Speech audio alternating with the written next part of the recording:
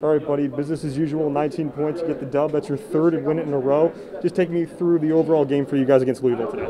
Yeah, just uh, overall, uh, probably best best uh, performance of the season, just from first half to the end. Uh, started off getting Jesse going. He, he, was really good finishing around the rim, finding him on rolls, and uh, he did a great job after that, passing out, finding shooters. Uh, really great game from him, and everyone everyone got going after that. And our defense was the biggest thing. We, I mean, they shot from three, probably under 20%, you know, in the first half, and then towards the end they made some obviously, but until, up until that point they really couldn't get anything. And 26 points at halftime, that's our best, definitely our best defensive effort, and they're a good team. So just a great overall win, and offense and defense were both really good, as good as it's been all year.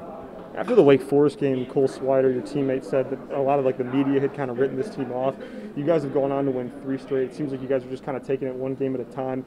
Has the mentality for this season changed uh, that's kind of led to the three-game win streak, or are you guys just starting to finally connect? What's going on with you guys?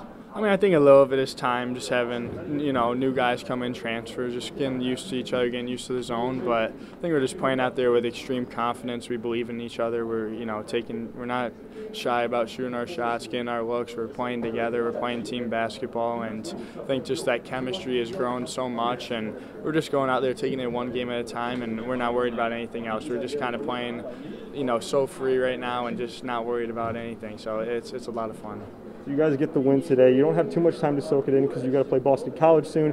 Coach Boeheim after the game even said that this team is going to be very physical. What do you guys have to do to prepare for that kind of team?